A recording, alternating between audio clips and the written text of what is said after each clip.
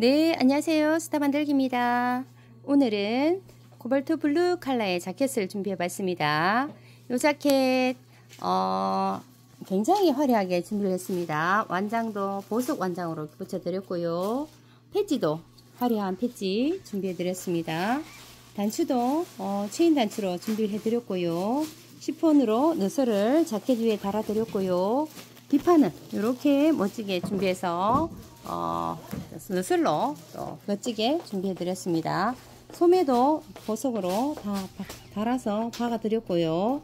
너설이 어, 소매 너설도 하나 붙여 드려서 좀 더 멋스럽게 준비를 해 봤습니다.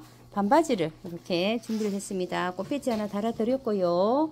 이렇게 또세 개의 보석으로 줄지어 붙여 드렸습니다. 탑도 어, 앞이 찰랑찰랑거리는 그런 탑을 연구해서 만들었습니다.